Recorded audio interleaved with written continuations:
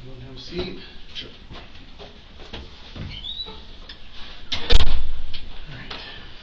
So I'm Detective Legos, Detective Warnicki.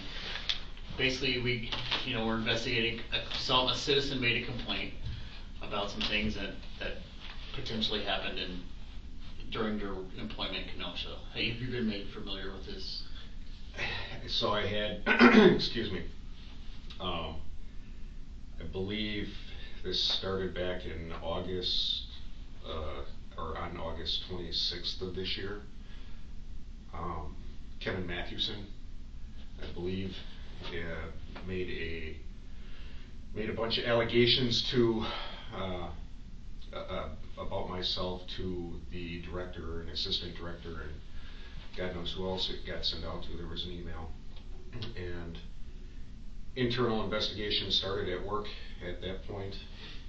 And, uh, matter of fact, yesterday I had a pre-disciplinary meeting with the director, assistant director, and our HR person. And the allegations, uh, you know, I, I'm sorry, I was blindsided yesterday morning when you called. I'm like, yeah, yeah, I, it was discussed that there were workplace violations and, um, uh, things that could be misconstrued. Uh, there was a Menards rebate that was, um, determined that I had actually utilized that, uh, for personal, it appears for personal gains. Um, totally unaware of it. Uh, I, I, I, I, don't even recall it, but they were able to, through, they- they had gone, they, in their investigation, they had found and were able to produce, and I'm like, a, a receipt or receipts that I had utilized, uh, this rebate. Um, it was in my name, delivered to joint services. I, I don't know how, how I utilize, came to utilize it for myself. Um, Typically, I don't even, send in receipts or, or rebates. Um, Okay.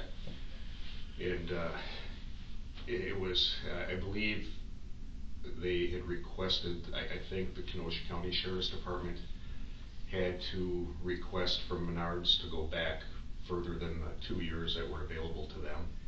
And that's where they, it was this, that one time, um, I can, I can only guess as to why, uh, or how it may have gotten, um, overlooked or mixed up with my stuff, because we had moved into our new building about that time, and from what I could tell, the purchases that generated, I guess, the rebate were for a whole bunch of shop stuff that we needed. Um, you know, trash cans and dust pans and, you know, just general shop supplies or whatever that we needed. And, uh, that, if, I recall from the information they gave me, was December of twenty eighteen, maybe? And, um, I think they said that Menards had reissued the rebate in January sometime. And then the, my use of it, um, appears to have been, um, I'm trying to recall, I should have brought stuff with me. Um, I, I think April, a portion was used, and then again, I think in May. The only thing I can surmise is, you know, like I said, I don't recall. Uh, it, it, it might, it had to have gotten mixed up in my, my personal stuff, and, um, that, that's what happened with that. And then, um, after, and then also, um, they said in regards to, to this was, um, uh, sale of, uh, scrap metal with a family member for personal profit. And that, that, um, th- that's just a whole long, drawn-out story. Uh, I mean, from my thirty years of employment there, um, any of our scrap, I, I mean, it was initially thrown in the trash as employees, um, at some point. I couldn't even tell you when, you know, we did- started separating that out and, um, taking it in and using the proceeds, uh, taking it into the scrapyard and using the proceeds for our cookouts, our departmental cookouts, and, um, I, I think over the years, a- as money collected, we purchased a grill, um, a used refrigerator, um, i- i- various, uh, I mean, we, whatever, it was all departmental use.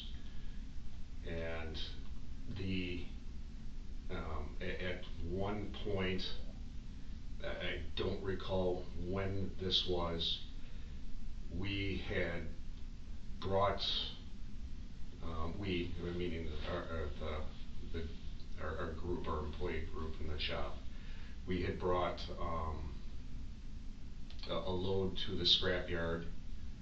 Um, a check was issued to the agency, and that was handed in to the director at the time, to the best of my knowledge.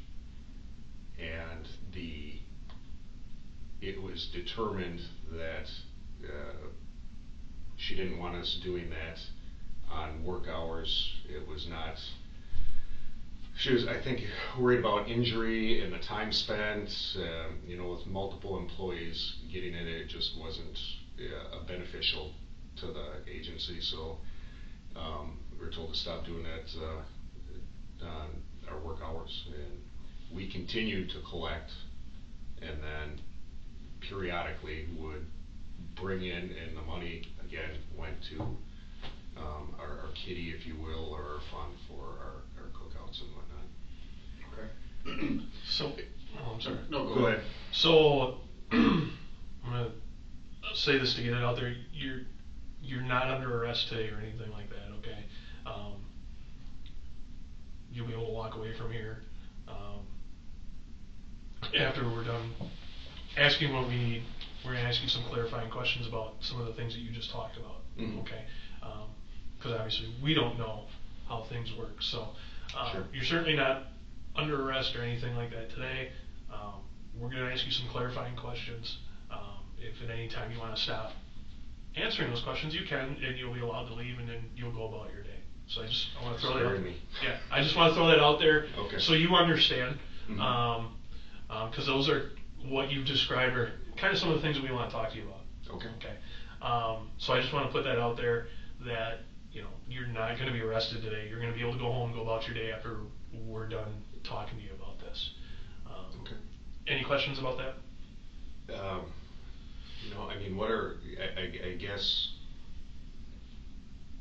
no, not at this point, I mean, you're talking about arrest here, I, and, and obviously there's something legal that brings me here. Well, a- as you alluded to when you first came in, like some of these accusations could be criminal. Wh- What, uh, in your words. So. That's what I was told. Right, so we're just, basically what we're looking to get into is the Menards rebates and the scrap metal, so we're just gonna ask you questions about that. Mhm. And what Detective Warnicki brought up with you being free to leave, we just want you to know that at any point, you're free to go, you don't have to answer our questions. Okay. So we just don't want you to think that you're stuck here, okay? Okay, okay. So we're just explaining that to you. Sure. So the, let's start from the beginning, we'll go through the Menards rebates first Okay. and we'll talk about that process. Um, was there ever any policy in place regarding the rebates? No, none. As a matter of fact, I, I tried to review the policy, I requested our employee handbook and, and whatnot, uh, to, to review anything there, no, I, I saw nothing. To the best of my knowledge, there is nothing, uh, dealing with Menards rebates. Okay. So let's, when you go to Menards to purchase items, how does that work? Um, Joint Services has a, an account with uh, Menards, and there are approved, um, purchasers, um, on that account. So we, uh, purchase whatever is needed, um, give them the account number up at the register, and then we have our identification to prove who we are. And, um, the, the process after that is, uh, you know, on- once we leave the store, we come back, we have to allocate, you know, where the funds are coming from to pay that one account, you know, whether it's for, um, shop supplies, or if it's for, um, cleaning supplies for the car wash for the biohazard cleanups, and whatever the case may be, or if it's for tools, uh, to be utilized at, at the shop. Or materials, I guess, you know, for our upfitting process, uh, whether it be, you know, whatever, plywood or screws or whatever the case, you know, general purchase. Okay. Stuff. And it, would you be handed a, at Menards a physical receipt that you would turn That in? normal printout, if you or I would go for that, yes. Okay. And how often, let's just say you go to Menards and you get a rebate, would you always turn those in, or did sometimes you would turn those in? How often would you, What do you mean, turn those in? so the rebates you have to send in, correct? Yes, you mean, do- how often would I mail them into? Right. Or or mail that rebate off? So if you, yeah, if you went to Menards and you ordered something for the joint services and there was a rebate, Typically, never. I, I, I mean, I can't, I, that's why I, um, my wife even says, you, I, I don't even take care of the rebates at home, you know, it, uh, the only thing I could guess that this happened to be a rather large purchase, us moving in there, I thought it was a rather large purchase, when I saw the receipt that they presented to me. Um, because of our, our, our new move into there, I probably saw the rebate on there that it was, um, something significant, you know, it wasn't two dollars or something. And, um, it got filled out, apparently in my name and joint services, because I believe they told me it said in care of, or, I don't know how it said, but it, it was my name and joint services, it was mailed to work. Um, like I say, in, through the chaos of everything, I, I probably totally even forgot about it. I, I- I mean, I, I- otherwise, and, and I did ask them yesterday, I said, you were able to obtain however many years back, how many times did I, you know, do this? And they said this one time, they had not presented any or, or sent in any other rebates. did you do your own personal rebates through Menards as well? I, like I said, I, I, I throw them on the counter or the desk at home, and my wife, if she takes care of them, they get sent in. If, she, they get forgotten, obviously they get, get thrown away if it's beyond the time frame. Okay. So there, there's just two, two purchases that are in question here, right? So, um, these are the list of items, Mm-hmm. and this was the, um, amount of the rebate that was used. Okay. So, uh, looks like on April twenty-seventh, twenty eighteen, I'm, I get that that was a while back. Do any of these items look like they would have been for shop use or personal use? No, I, I, I would not assume that those would be for shop use at all. I, I can only assume that they're for personal use. Okay. And then there was a, a second transaction, which would have been on May twenty-fifth, Mm-hmm. would have been, uh, some sealer, potting soil, and some Miracle-Gro. It certainly, it certainly wouldn't be for Okay, so those, those, uh, those purchases would, would have been for personal use. Um, and this second order, uh, there was uh, forty-one dollars with, paid with a rebate, and then the rest was put on a credit card. Would that, would that have been your credit card? I'm, uh, from what they showed me yesterday, I don't have my, uh, Menards card, uh, I don't think. But I, s- I saw a signature line, where my signature was on the line. Yeah, So I- it's just a master, uh, yeah, Menards card.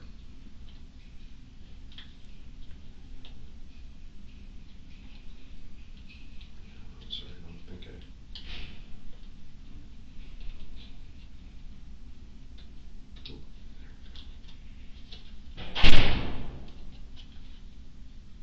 One five one four. Okay, so that would have been paid on your been paid on Menards card? Card, yep. Okay, so from the best of your recollection, those would have been personal items that you purchased? They would have to be. Okay. I, I, I would have to. Okay. I can only, uh, yeah, I can only guess that they're, they were my personal purchases, yes. Okay. I, I don't know why else my card would be used, uh, for the remaining balance. Okay. Do You have any other questions about the Menards rebates? Were there any, were there any other purchases that you made throughout your tenure as a supervisor where you, you had the rebate, or you got a rebate based from a Kenosha County purchase that qualified for a rebate, and then would you ever, ever turn that into the finance person? Had, had I made purchases that would have qualifying rebates on them? I could only assume yes. Yeah, okay. Um, I, I mean, I don't recall what the, well, somewhere in twenty nineteen was that, I, I guess. These or were 18? 2018. Okay, so twenty eighteen. So twenty eighteen, um, I don't know if, I think prior to the pandemic, it was hit or miss whether they were running rebates at the time, I think. And as of late, it seems like they run it all the time. So I am going to assume that, yes, there were purchases that were, they're made that qualified with rebates. Okay, and my understanding, and, and correct me if I'm wrong, um, my understanding is when you went to Menards, you made a purchase for the county, you had the receipt, a store receipt, and then would you have to come back to the shop and do like another, for lack of a better term, I'll call it almost like a purchase order form where you list the items that you bought, how much the quantity, and then you turn that along with the receipt into your finance person, is that correct? Yes, correct. Okay, and then sometimes it was, I know at Menards through my own personal purchases too, sometimes a, a rebate would come at the bottom of the receipt Mm-hmm. and they would be perforated, sometimes they're just sitting there hanging or whatever. Um, so were there times you think that that rebate receipt might have been attached to your receipt that you would turn in at all or no? Can you remember a time like that? I, I would assume that if there was a rebate receipt, it would have been attached. Okay. And then, if there were times that, could there have been a time when you were filling out that paperwork and for whatever reason, you, you qualified for a rebate, but the rebate receipt wasn't attached? Would there, could there have been a time like that too? I, I, I, I don't know. It goes, so I, I, I would bring this stuff back, it goes to me, and then it goes to my clerk. Okay. And to, um, I indicate to her where all the purchases have to be allocated to for the PO. Okay. And then it gets either some, one way, shape, or form, it then goes to our administrative office where our finance assistant uh, takes care of the rest. Um, a- and I don't know what the practice is up there, um, but I believe one of our m- more recent purchases there, the finance assistant, um, did send in a, a rebate, so that, that rebate receipt would have been attached to that, I do not recall what purchase that would be, um, And it, it sounds to me like finance or Kenosha Joint Services, I mean, if you go make a purchase at Menards, finance or joint services would never know either way if it, it qualified, that purchase would have qualified for a rebate. That's fair to say? No, I think they would know that it, if it qualified, Okay. um, because like you said, the receipt would have that rebate slip attached to it, most, most likely. Okay. Unless, like you said, it was perforated and came off or, or something along that lines, yeah. Okay. Alright. So I would, I would think so, yeah. But again, you guys, there was no directive on how to deal with rebates. None. No, um, until this ha- has occurred, Mhm. I have been directed, uh, by the director to that all rebate forms or receipts will be, i- is sent to the front office. And is that, is that Josh Nielsen? Yes, This it is is. his current director? Current director, correct. And how long have you been employed with Kenosha County? Thirty plus years. Okay. And then you became a supervisor when? Oh my goodness. Um, I just asked. Uh, um, Does 2007 sound about right? it does. Yes. Okay. Yeah. Be- yesterday I was. I, I, it sounds horrible, but I don't recall. You know my progression through, and and yes, uh, yesterday I had asked in 2007. I couldn't tell you the exact month.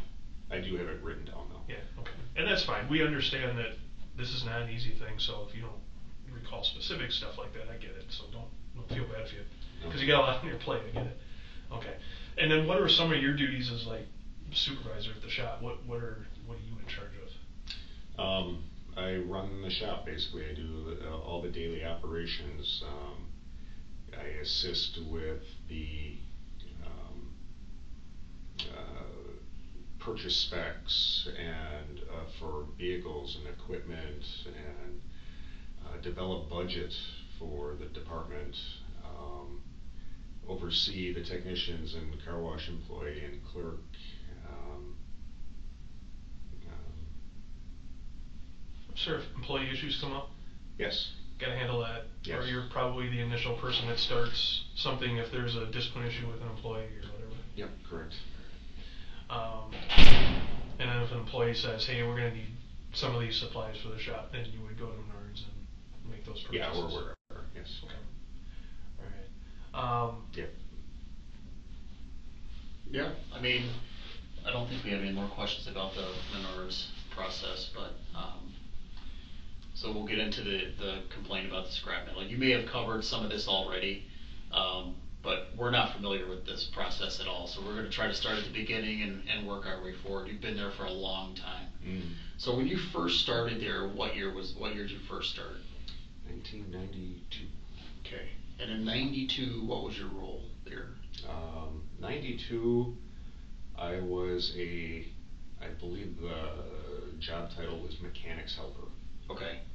And who was the director at that time?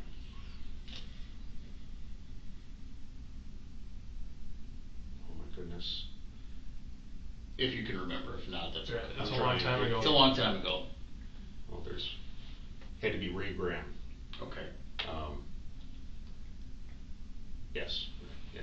So Ray Graham. start, starting way back when you first started, obviously a shop generates scrap. Mhm. Um, what was done with the scrap when you first started? Throw in the dumpster. And did you have any policy or procedure or any directives from anyone to tell you how to deal with the scrap? No. And how long was that the process where you guys were just throwing it in the garbage? Oh goodness, I, I truly don't know. I mean, we for uh, years. Okay. I, I mean, that's all I can say. I, it, I mean, there. I'm trying to remember at what point we started collecting. Like I said, is uh, not collecting. Instead of throwing it in the dumpster, we started setting it alongside the dumpster, creating a, a pile, you- with the intent of, you know, taking it and trying to get some money for it and utilizing it for our, our shop cookouts. Okay, and when, when you guys started that process of just kind of putting it in a pile with the idea that, you know, we're, instead of just throwing this out, we use this for something for the shop, um, were the bosses aware of, that you guys Oh, were doing that? absolutely, yeah. Okay, Yeah.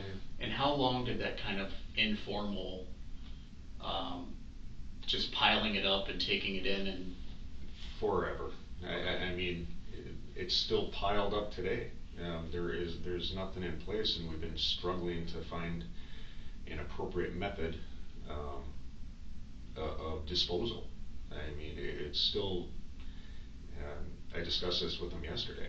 Uh, I said, moving forward, um, God willing, I still have a job. I said, there needs to be a directive to add specifically what needs to be done with this. And um, I, mean, I'll, I'll let you continue, but. Sure. Yeah, But so, yeah. So, so I guess we'll fast forward to, to when you're in charge, but from the time you started as a mechanics helper up until you became supervisor, was that kind of the, Yeah. this, what happened? It just kind of, you get, guys just threw it in a pile? When it reached a certain level, it would get taken down to the scrapyard? Yeah, whenever, I I mean, if it got to, if, or if it got dangerous, where things were piled up and somebody could get hurt, or, um, it was, if it became, uh, uh, in our way, or whatever the, yeah, a- and it was really based on, you know, whenever we had time or something, I mean, us, uh, as employees would, um, bring, use our personal vehicles or trailers to, excuse me, to, um, take it to the yard. Okay. And do you remember, I think we said two thousand seven, you became the supervisor, you were in charge. Yes.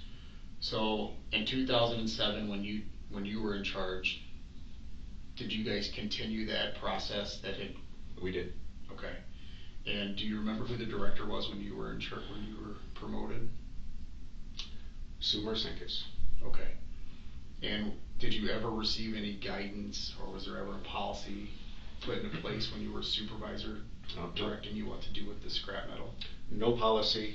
Um, there, there was a time that we had taken it in with our shop vehicle, um, or, or company, you know, departmental vehicle, uh, that we took scrap in and the check had been made out to joint services. And that was handed to her. Um, and so, what is this? And it's like, well, this is from, uh, you know, a scrap metal run.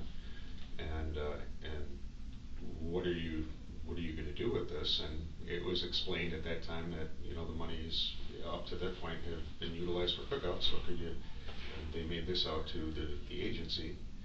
And, um, I don't believe we ever saw the proceeds from that, because at that time, we were, or I was instructed that it wasn't worth the, to, to stop doing that on company time, it, the, the manpower and the risk of injury and whatnot, it, just, she didn't want us doing it, it wasn't worth it. What scrapyard were you guys using? Um, one in Racine, um, I believe it was Miller Compressing. Okay, is that the one that you guys continue to use? We haven't for, um, I, I, I wanna say at least the past two or three years, um, have not, tur- we just recently, so I guess yes, just recently, um, trying to think when this would be, it's pretty current, I should remember. Um, I want, I'm trying to think, it was prior to me, um, and, and had to be, um, in September of this year. Uh, early September, we'll say, I was finally to, able to obtain a scrap metal container from the, uh, from the scrapyard. They dropped it off at our site. Um, I had, I, I called around, somebody had made the comment that we, yeah, you know, they'll, they'll drop a container off with you and, and leave it there until you're ready. Like, really? Um, so we called up, I called up, I called, uh, uh, several places and ultimately, um, they finally dropped off a container for us to fill up. And it was from Miller, Com- I, I don't think that's the name of it now Okay. but the, the same place. Um, Joint Services has a check that was received for that. Okay. Um, So I don't re, I I can't recall who the name of them are, but Okay. same place. There's only a couple in Racine, right? I don't know. Okay. If I were to say the name Alter, does that sound familiar? Yeah, yeah, it does. Alter. Yeah. So, not that, I don't wanna jump around on you too much, but Okay. when you were the, when you became supervisor and you guys were running the scrap, um, how often would you do it? I don't know. Like I said, it was uh, whenever required, to, you know, if it got, um, too big or in the way or, or whatever. Um, that, it was just out of necessity, whenever we would do it, and I don't know what the frequency was, I really don't. And where were you guys throwing the scrap at this point? Where were you storing it? Um, Well, back in two thousand seven, um, we were still in the safety building, so it was getting thrown right next to our dumpster. Okay. And was that inventoried at all or monitored? No. So if an employee wanted to or someone wanted to, could they take things from that pile or put things on that pile when, without anyone knowing it? Yeah, absolutely. I mean, like I said, it was considered trash and, um, we had added, um, I, I know if we had, if we- any of the guys or myself did a, a brake job at, uh, home or, uh, exhaust or whatever the, whatever the repair might be, or if we just had something else loose laying around, then it would get tossed on that pile. So when, when things got to the point where the, it needed to be handled, the scrap had to go, um, what was the process of getting that from the yard, from the scrap pile to the scrap yard? That be your decision to say, okay, this has been piled up long enough, we need to get it out of here? Yep. So what, what would the process be to get that from the scrap pile to the scrap yard? Um, we're talking like Yeah, when you were supervisor. Work, yeah. Um, at, at some point, uh, at some point in there, we tried utilizing, um, just to simply get it out of there, we tried utilizing, um, scrappers. You know, we have them driving by on a pretty regular basis. Um, then that was frowned upon, um, by the director, uh, indicating that it was a liability to us. Um, so we had to stop utilizing scrappers. Which director was that? That was Sue Mersinkus yet. And then at some point, um, my cousin uh, was called in. Um, uh, basically, can you get rid of this for us? And he would come. Yeah, basically, if we would call, uh, or I would call, um, I I would say, hey, would you have an opportunity to come get this out of here for us? And uh, it's piling up, and we need to get rid of it. And sometimes it was, yeah, I can come right now, or no, I'm uh, too busy, I can't come get it right away. But eventually, um, he had been utilized to do that, and we would receive uh, a portion of the funds from whatever he got with uh, turning whatever whatever monies he received for whatever he was dumping.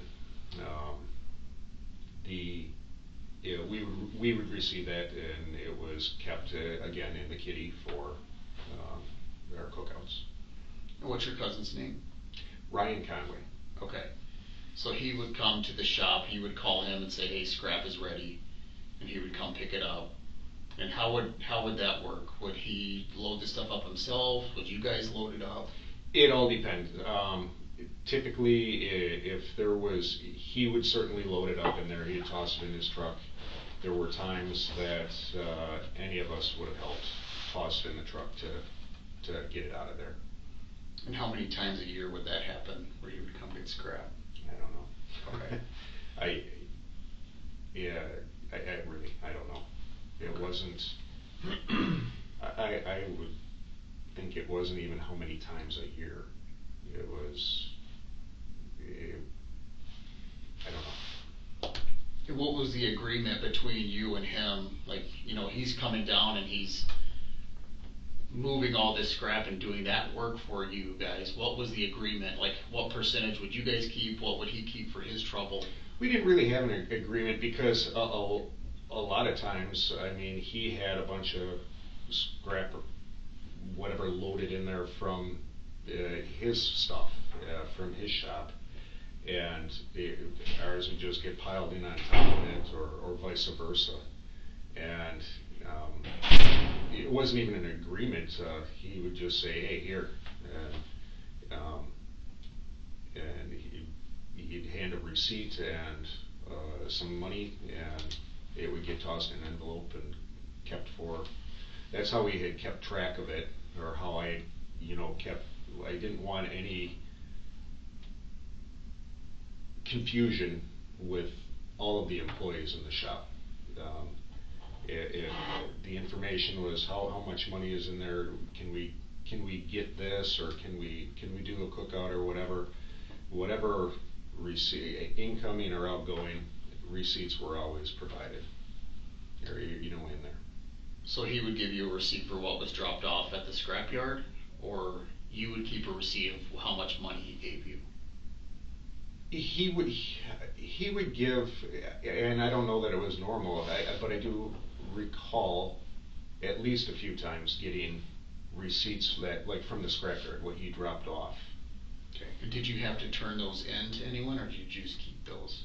No, like I said, no, th- this, we're operating, or I was operating under the, the premise of this is trash. Um, and, I, I mean, some of the stuff still got thrown in dumpster, right, especially if the pile got too big, it just got tossed in the dumpster.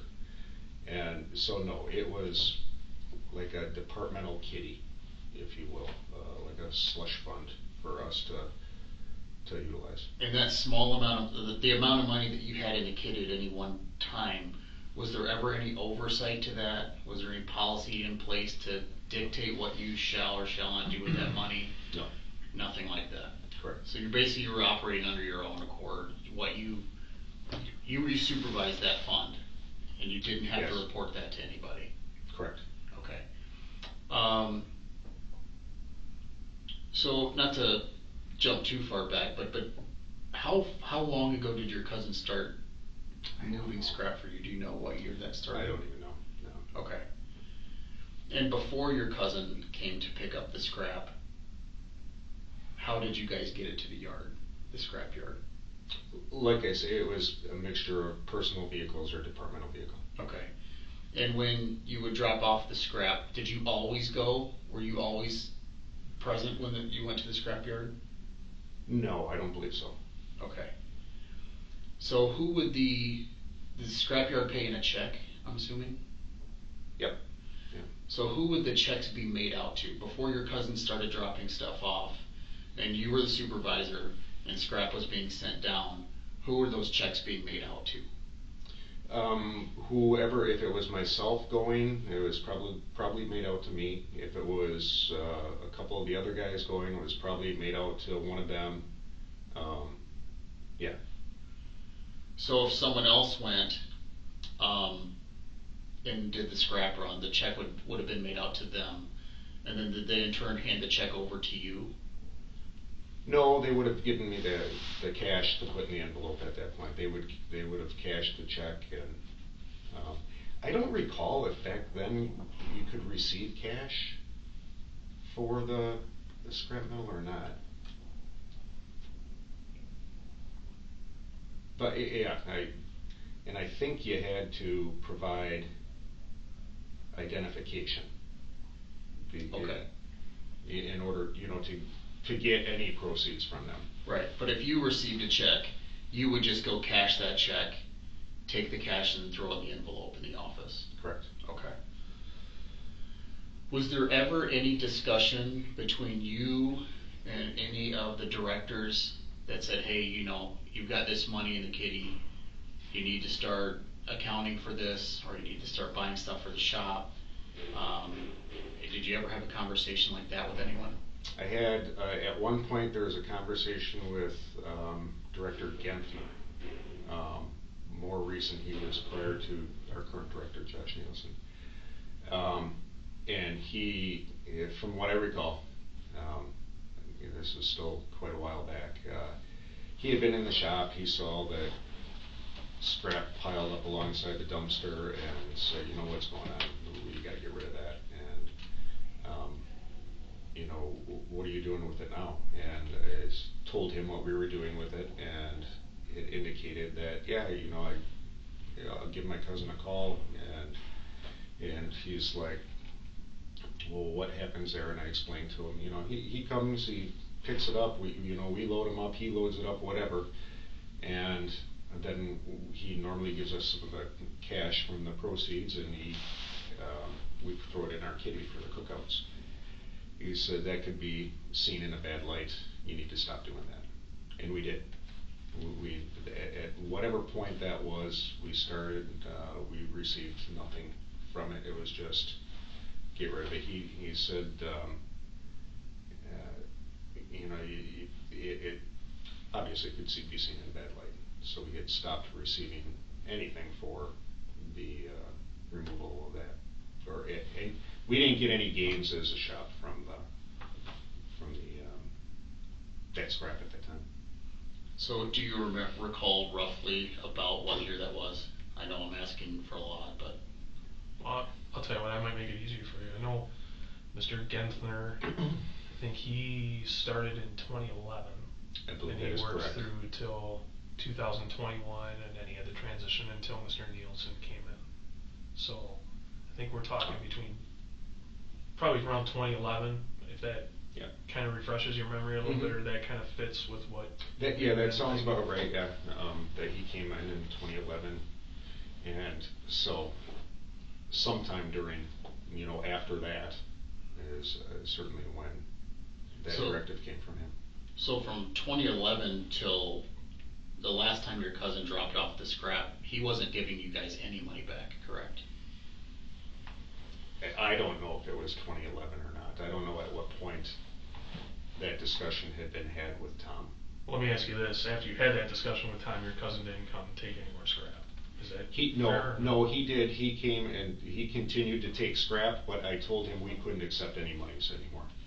Okay. That, that was, be- could be misconstrued or seen in uh, bad light, um, that we're receiving m- money, you know, un, I don't know, undocumented if you're, I don't even know what you'd call it. It, it wasn't on joint services, you know, it wasn't going through the, the front office. Did Mr. Genthner ever tell you that the proceeds should go back to Kenosha Joint Services? No. Okay. So your cousin still came and took scrap, but then he wouldn't give it, your cousin essentially would then keep the proceeds Correct. of that scrap. Yep. Okay. And would you estimate, I mean, could you even estimate how many more times he came between? I mean, it's a lot, I know, twenty I don't eleven, know. twenty twenty-one. Goodness. But he still continued to do it. He did, yes. Does, when, did he ever stop doing it, or does he still continue to do it to this day? No, no, they, um, at, at some point, and I don't know if it was another discussion with Director Genthner or, or, or what evolved, but it was determined that he shouldn't be picking the scrap up anymore either. We had to find another means of disposal and have been struggling with it ever since. We've, uh, tried, I've reached out to the city, um, um, I've asked, you know, other various departments what they do, and, uh, unfortunately, most of it gets thrown away. Um, you know, right in the, right in the dumpster. And we were just trying to, we figured, well, hey, we're keeping some of this out of the landfill, and we're able to get uh, a few bucks for our cookouts, and, um. Would yeah. you known how long ago, when your cousin's last pickup was?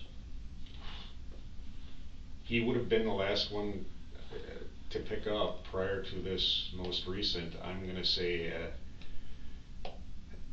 uh,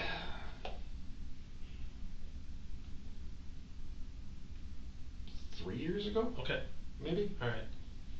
Um, and then just so, I wanna circle back and I apologize, cause I didn't quite understand it. Y- You said at some point back in the day that you, s- you mentioned scrappers coming. Mhm. So essentially, could anyone come and take off that pile? If, if I was a scrapper, I came to you and said, hey, Pat, I'm a scrapper, can I take some of this scrap? That would have been acceptable. Mean, You Yeah. had people doing that, did I understand that right? We'd, we'd actually stop them if, if we had a bill, and then it got to the point they're stopping, it seemed like daily, it became a nuisance, um, that they would stop and, and try, Okay. they'd just walk in the shop and, um, you know, if the doors were open. But it- They'd walk in, and they, they wouldn't walk in and just take it, Yeah. but yes, um. It was an they- interruption probably to your day that, oh, we gotta deal with a scrapper who's asking about this, and Yeah. You or somebody else would have to deal with that person, but am I, am I correct in understanding there was a period of time where essentially anybody could come up and take the scrap if they wanted it? Sure, Okay. yeah, yeah, if That's- they, if they were coming down the street, yep. Fair And they enough. stopped in and said, hey, you got anything for us?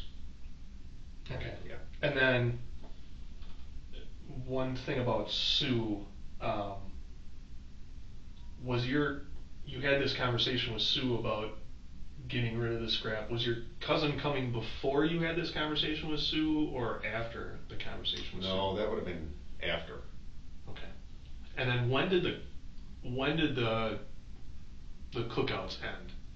Were you a supervisor when they ended or was They that didn't before? really, they haven't really ended. Okay.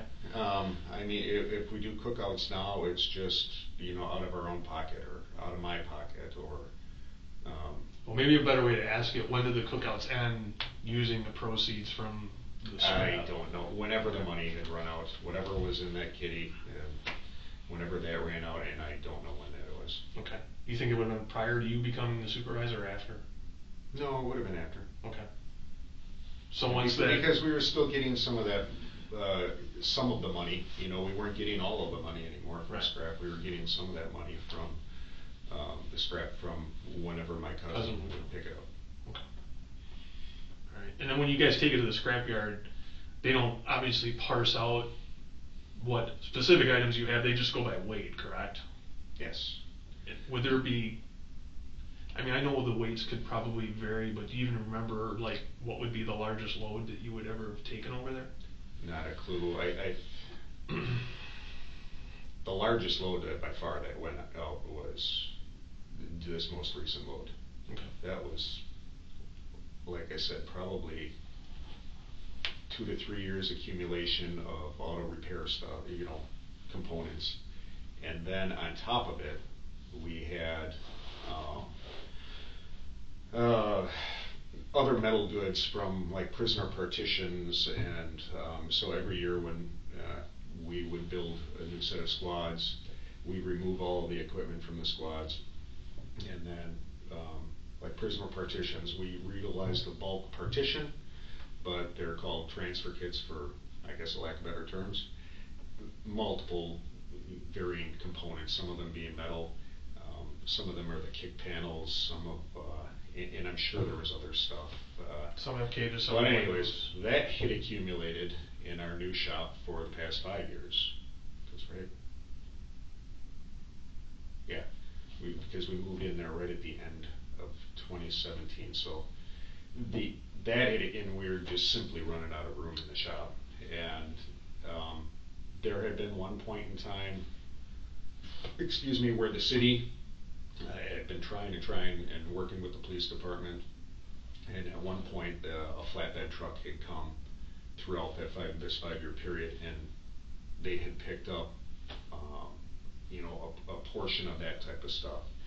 Um, otherwise, like I said, this has been accumulating, so that was a, that was all of our, from repairs and, and maintenance in the shop, and all of that stuff from city, uh, and the county. And, um, I had asked permissions, I said, hey, what do you wanna do with this? Uh, I've got a scrap metal container coming on this date, um, are we able to get rid of this? And, um, away it went. Okay. And then your cousin stopped coming after you had that conversation with Mr. Genthner, and you think that might have been about three years ago where he, your cousin stopped coming to take the scrap? Yeah, I would say roughly. Okay. Did you ever use money from the kitty to buy supplies or tools or anything like that for the shop? Yeah, I believe so. I, I'm not positive, like I said, it was what, propane.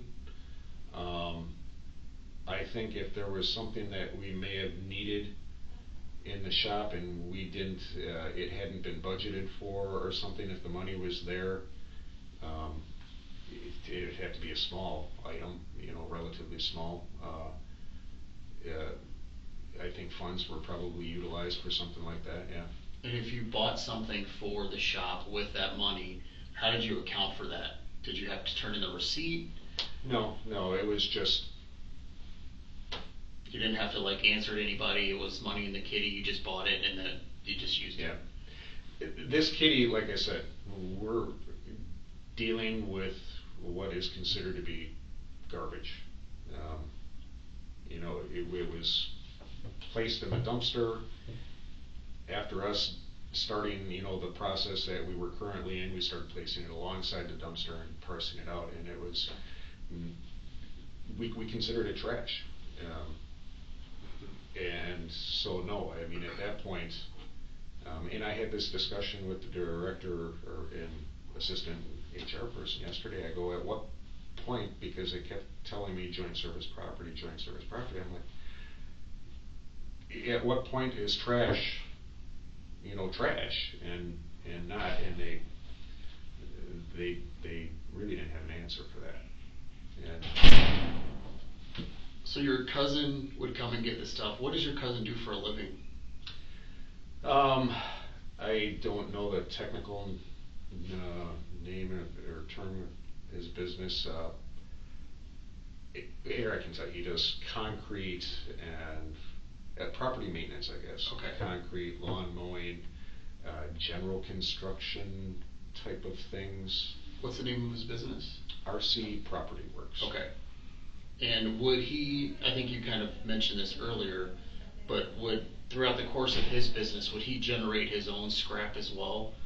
Mm-hmm. So would he be turning in scrap from other jobs and things unrelated to your shop? Yes, Okay. So in other words, if he came with his truck, he could have already some scrap from his side, or his business, the Correct. jobs he's working, and he just throws in whatever. Yep. So it's all mixed up. correct, yeah. So, did you ever, so obviously we know now it was probably a bad practice to not account for the scrap metal, cause it has value, and technically it's county property. Did you ever benefit from recycling any of that personally? No. Did you ever keep any of that money for yourself? No, like I said, I would bring that, uh, myself and others would throw stuff on that pile. And, um, personally, as an employee from the cookouts, yes. Okay. You, you know. But But no, every- did, did- are you asking, did I pocket any of the Yeah, did you money? pocket any money? Did you, you know, go on a vacation or use any of No. that to buy yourself new sunglasses or anything like that? No, absolutely not. Okay. And up until recently, as far as you or joint services or the county, you believe this because there were no policies, this was just treated as garbage. Yeah, absolutely. Okay. We were never given a, it, none of this was done behind closed doors, so to speak, you know, it was, it was all in the open. Um, I, I mean, there were, there were law enforcement people that would say, "Eh, I'll take that out of there. It's like, nah, I I would too, but I can't, you know, and, um, um, you know, other city employees or, you know, that would say, say, no, I'm sorry, we just can't, we can, we can't do that. And, and, so, yeah, it was, you know, considered trash. And there might have been a day that that was possible, right? Yeah. They just come say, hey, what are you doing with those rotors, or what are you doing Sure. with that? Could I just take it? And you're like, well, yeah. Right. Because no one really, I mean, it was, I, I understand your point, it's like, well, we're just gonna throw it out anyway at that point, right? So, yeah. Exactly, like I said, it was literally being thrown in the dumpsters. And we physically, you know, I can't say we physically removed it because we would set it, w- w- we developed a pile next to it, so. But if you were walking to the dumpster with a rotor and it was heavy and you didn't feel like putting it on the pile, you could just throw it in the garbage and it wouldn't matter. A- Absolutely. Okay. And like I said, that, that happened with whatever, if that pile got out of control or it was something that went stack there, uh, and, you know, it got tossed in a dumpster. So when you talked, so when you're, uh, was it Ginther? Ginther. When Ginther, Ginther talked to you about, say, it probably, it doesn't look good that we're getting money for this and this practice should end. Did anyone ever give you any direction as to what to do with it, or they, was it up to you to just figure it out? It was still finding an appropriate, appropriate method of removal. Okay. But there was no discussion of how you shall use these funds, if money is generated, you shall do this, you, it was just kind of like figured out. And you had this past practice of just putting in a kitty, so you just continued that Yes. until you you felt that you were given instructions that it was inappropriate to get any money from this. Correct. So how did you kind of justify in your mind that it would be okay for your cousin to keep the money? The, I didn't even think about, you know, the, the relationship, if you will. He was a licensed, insured, you know, bonded contractor that was reliable. You know, we called him up and we knew that somebody would, or that he was gonna come get it, um, when he said he would, or, um, if not, we'd be notified. Um, you know, it wasn't relying on somebody else, and it was like, we're not receiving any of the funds. This is all, you know, and it's trash anyway, so.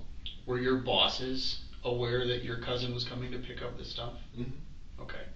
So it wasn't some secret side deal where he was showing up in the under the cover of darkness and taking the scrap. I was, yeah, I was just gonna say that, it, it wasn't, it wasn't like, uh, you know, we got a pile of scrap and that's gonna be, um, slated to go on Monday, let's get in there over the weekend and, and grab it type of thing, no, I, I, no, during normal, you know, normally, so it didn't interfere with us or, or his schedule, and it could have been whenever. But it, it was always, you know, broad daylight, um, employees were around, I mean, we're right there at the police station, and even right now, you know, we're just a, a couple blocks away. Um, so, So your direct supervisor is the director, correct? yes, correct. So the director at the time was aware that it was your cousin who was coming to pick up the scrap. Mm-hmm. Okay. Okay. Was there kind of like an average amount that you would get when you scrap stuff? Uh, It, Or I it just, I- it just varied upon whatever scrap was going for your weight. Right. Could it have been a, could it have been as much as a thousand dollars sometimes? Oh, I, uh, no, no way. It wouldn't be that, it wouldn't be I that can't imagine, absolutely Okay. not. So you're maybe talking Like like- I said, we just had like three years of accumulation, not only our, our crap that we were, or, sorry. No, that's fine. Not even, the you know, the stuff that we're, we're generating as, as garbage or recyclables.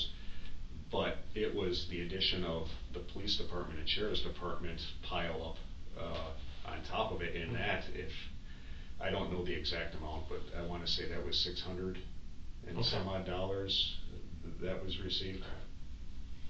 So at best, even with all that you just described, I mean, there were probably times you certainly had a lot less. It might not even be a hundred dollars. Is that fair to say at some? I don't know. Okay. I really don't. Because, and I wish I knew what scrap metal prices were. Well, yeah, right. And, you know, I, I don't know. Okay. And it varies so much depending on what the need is, so. Well, they, I, in my conversations with, you know, trying to obtain for our recent pickup, um, explained what we had and, you know, what was going in the dumpster. If I'm, I wanna say it was five or six cents a pound, I think, that was received, um, for our stuff. And I tried, I wish we could get a, a, like I said yesterday, I had the conversation of, there is still no directive in place. And it's currently being piled up there. You want it back in the dumpster, do you want it, you know, what do you, I said, if I had to do this to do all over again, if I even thought it would cause an issue, we would have continued throwing it back in the dump, or, you know, right in the dumpster, right from the get-go, and not even thought twice about it. It, it's just not worth this, Right. you know.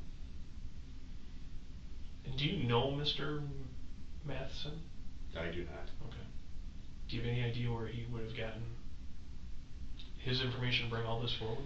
That's why I'm trying to, I don't know who I upset, or if he was just fishing, or, but there, there were two, there were details there that, um, I, um, some of the other allegations were that I was working on my vehic, my personal vehicle in the shop, and sometimes during work hours.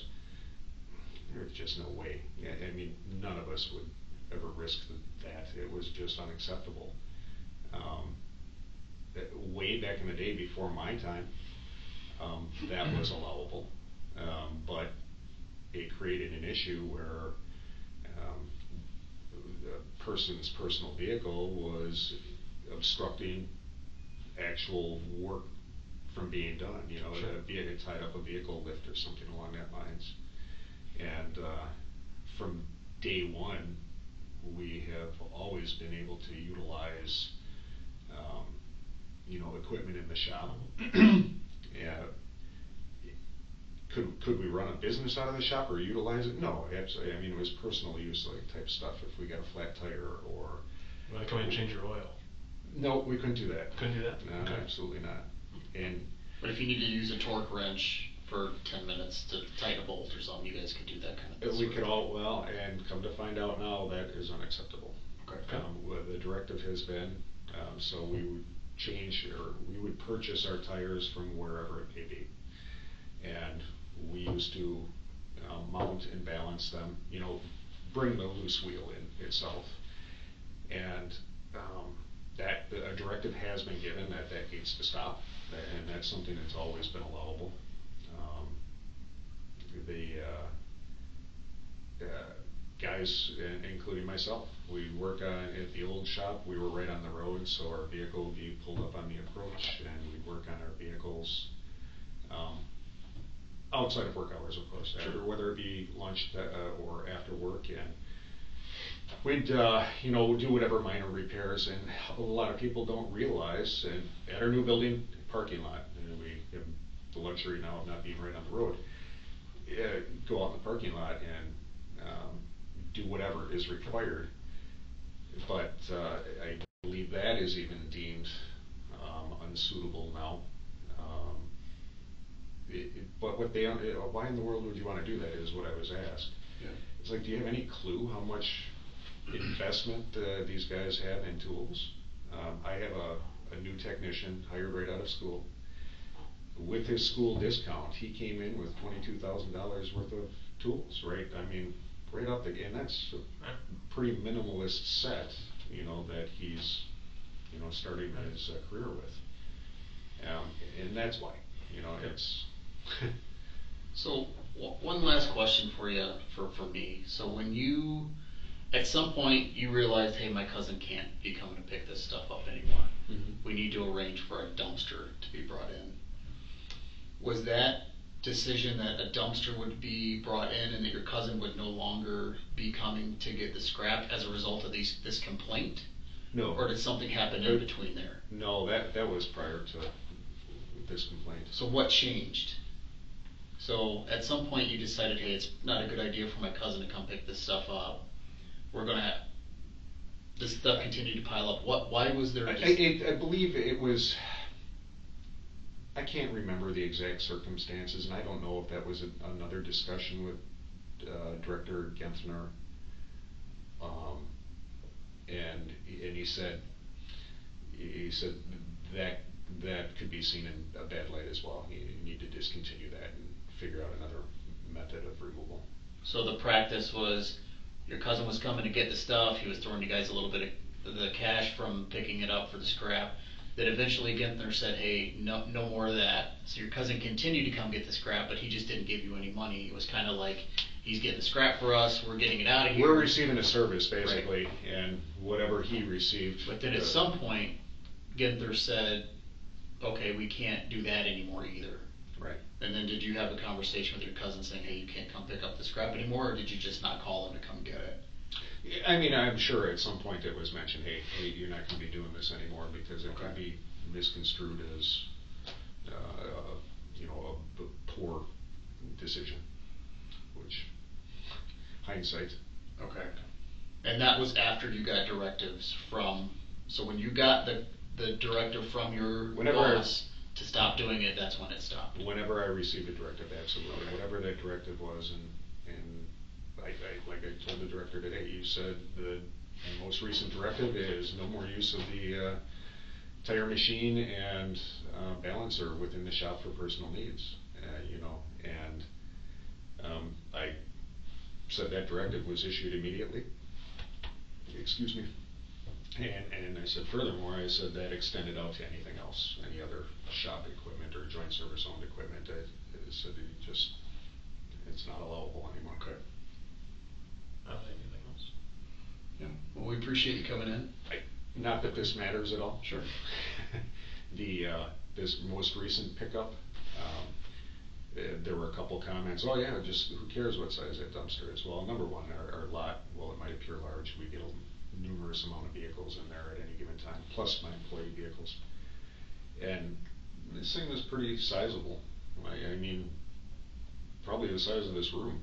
And, uh, we got, I got, uh, received a, a call from the scrapyard, the individual who I had set up the, or made the arrangements for. And, uh, we were accused of putting in propane tanks into the mix of things. And, uh, he had photographs and everything, and I said, no, absolutely not. There, there is no way, I, I read your list, you know, so ultimately, surprisingly, somebody wasn't taking from the pile, but somebody was putting Putting in. prohibited, um, you know, Yeah. material in there. And that's just another, you Right. know, uh, it, it's sitting out there open to the general public, they could take, they could, they could add, they could do whatever, and I mean, that's a prime example of something being added, I guess. Yeah. That was, that almost, we were almost fined as a result of that, and I said, listen, you know, it's under camera. Uh, I mean, I went through and I couldn't determine where anyone did it. Um, yeah, but I showed him photos, I took a photograph of it when it was, um, picked up, and I said, this is how you received it, and I don't see anything in there. Um, and we certainly did not do it as a shop, but Is your Yeah. scrap, scrap pile today, is it outside? it is. Is it sits next to the dumpster? Mhm. Is that accessible to the public? Can anyone just drive up to that at any time and start? It is in an enclosure, but yes, it is, it is, uh, accessible to. So if a scrapper came on Sunday afternoon and took stuff off, you guys would never know, No, and you wouldn't have a reason to review the camera. no. So, okay, so anybody at any time could either add or subtract from that pile, and you guys Absolutely. wouldn't know any different. Correct. Okay. Yeah, it's not a fan, I mean, we're wide open to the, to the public. That's one, of leaving a dumpster there and it's open like that, that's gonna happen, Yeah, right? So how do you mitigate that? and I know even our trash at times, we, what the world is that, you know? Yeah. And so, yeah. Do you have any questions of us? Um,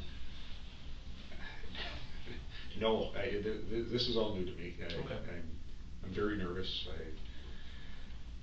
I, um, yeah, just, I would never knowing me. I mean, I've been there for thirty years. I've devoted my, you know, career to, to this place and yeah, I take pride in what we do, what I do.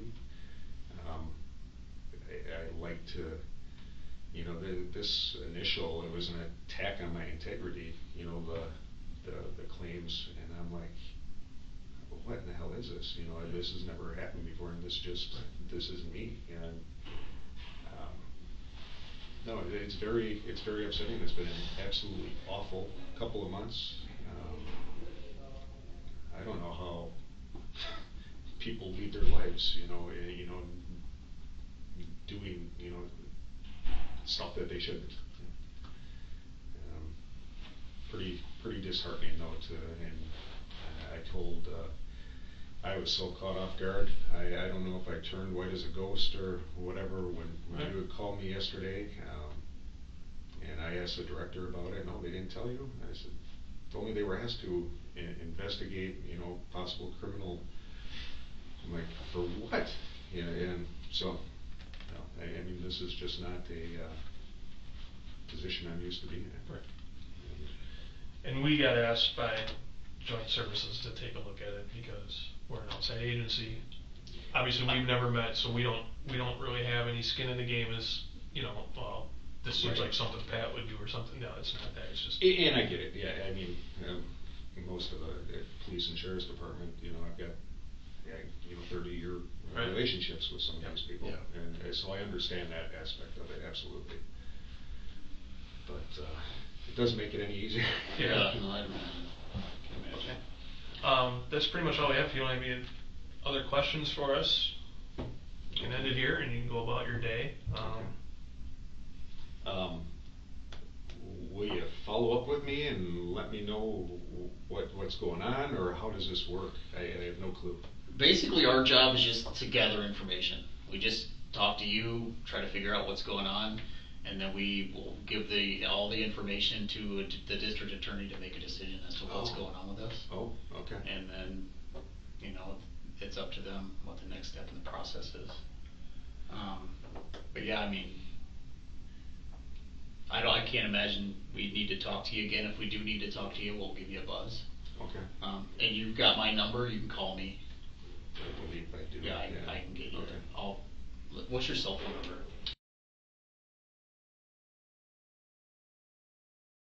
I'll text you a copy of my business card, Okay, thank you. and then you'll have it, so you can call me if you have any questions. Okay. So basically what we're doing is, like we said, we're gathering information, talking to you is a step in doing that, because like I said, we don't understand how all this works. Mhm. Um, and we wanna be sure, um, that we've got a handle on things, and talking to you is an important piece of that, because you do it every day, we don't. Right, right. Um, so, we type all this up, and then, um, I've been, I've already been in contact with our, um, district attorney about it. There was some logistical issues, you know, is this gonna be a Kenosha County case, or is, is Kenosha, the, their district attorney, are they gonna say, well, no, let's, we'll kick that to Walworth County too. So our district attorney here in Walworth County is gonna, um, just review what we have. Um, ultimately, it's, it's up to the district attorney if he feels that, um, there could be some, there's maybe a theft charge here. Ultimately, he has that ultimate charging authority. Um, so he he will just review what we have. Um, certainly, you know, we've worked long enough with our district attorney. He appreciates our input and what our perspective is and what we're finding out. Um, and he, he takes that into consideration as well. So, um, kind of guess the, the short end of it is, is like, we don't know what the district attorney will do. I mean, we'll certainly have an input in what we have. Um, we're in communication with him about it, so, um, it'll, it'll ultimately be up to him, um, what he decides to do with it. And that process, unfortunately, I, I, you know, I don't wanna sugarcoat it for you, that process may take a while for him to review it. Okay. Um, I know that that doesn't help you. Um, I just want you to be prepared for it, cause I don't wanna sugarcoat it and say you're gonna know next week or in two weeks or whatever like that. Um, Okay. But again, certainly if you have any questions, you can always reach out to us. Um, like, if you haven't heard anything, you'd like an update, you can always reach out and call us and Okay. then we can do some check-in for you, so. It's not anything where we're gonna try to leave you in the lurch, cause we understand, I totally get, trust me, we do, your perspective and we understand when you say this is kind of an attack on your integrity, cause it means something to you, I think you care about what you do. Absolutely. Um, so, that's kinda how we have to leave it, um, for now. Um, we may have to reach out and talk to your cousin. Um, I don't know if you've spoken to him since this, since you've learned about any of this or what's going on, I would just ask if you not speak with him anymore, um, until we get a chance to talk to him. Okay. Or talk to him about what we talked about today. Okay. Um, Cause what I, I would think at some point, we're gonna wanna reach out just to touch base with him Sure. and get his perspective, so we can get a, a complete and accurate picture. And that's done in fairness to you, it's done in fairness to him. Um, I understand, I, I know it needs to be thorough and Right. proper, I get that. And we've also been in contact with Josh and Andrea as well. That- Stephanie. Oh, Stephanie, I'm sorry, I keep calling her Andrea, Stephanie, Okay. sorry. Um, so, Do you, do you have a good contact phone number for your cousin? His cell phone number?